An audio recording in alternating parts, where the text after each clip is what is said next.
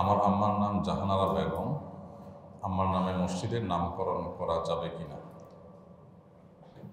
যদি না যায়, তাহলে একটা নামকরণ করে দেন মেহরবানি করে। মানুষের নামে মসজিদের নামকরণ করা যেতে পারে।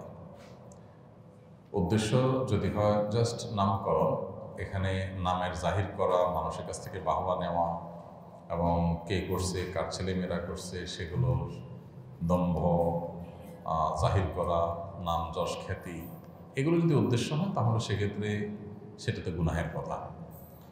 এমনিতে কেউ নির্মাণ করেছেন, তার মায়ের নামটা থাকলে মানুষ তার জন্য দোয়া করবে।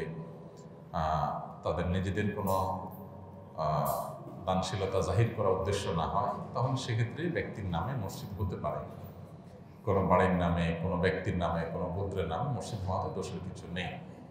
সাহবা একরাম রেদওয়ানুল্লাহ তাহার আহমেদ তাদের সময়, এমনকি প্রিয়নবী সাল্লামের সময়ও বিভিন্ন এলাকার মসজিদের নাম, অমুক এলাকাবাসীর, অমুক বংশের লোকদের বনি অমুক, বনি তমুক, এর মসজিদ এরকম নামকরণ করা হয়েছে। স্বয়ং মসজিদে কুবা যে আমরা দেখি, এই কুবা একটা জায়গার নাম। ওই জায়গাটার নাম কুবা, সেই নামে নামকরণ করা হয়েছে মসজিদে কুবা।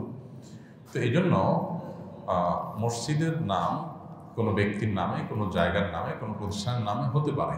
এটাতে নাজায়জ কিছু না কিন্তু উদ্দেশ্য হতে হবে মসজিদের নির্মাণ উদ্দেশ্য হতে হবে আল্লাহ সন্তুষ্টি। সেখানে নাম যশ খ্যাতির জন্য নাম জুড়ে দিয়েছেন নিজেদের কর্তৃত্ব জাহিরের জন্য তাহলে সেক্ষেত্রে সেটাতে গুণা হবে। মৌলিকভাবে নাম হতে পারে। আর যদি আপনার মায়ের নামে নুরজাহান আহ, জাহানারা বেগম তাহলে আহ, জাহানারা বেগম জানে মসজিদ এরকম নাম হতে পারে।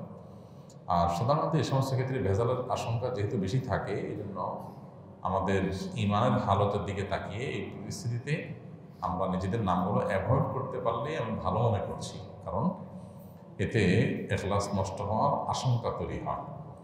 সেক্ষেত্রে আপনি আল্লাহর নাম দিয়ে কোনো মসজিদের নাম দিতে পারেন। বাইতুল বাইতুল বাইতুল রহমান বাইতুল রহিম, এরকম কোনো নামে দিতে পারেন। অথবা আরও বহু নাম আছে মসজিদের যে কোনো একটা আপনি দিতে পারেন।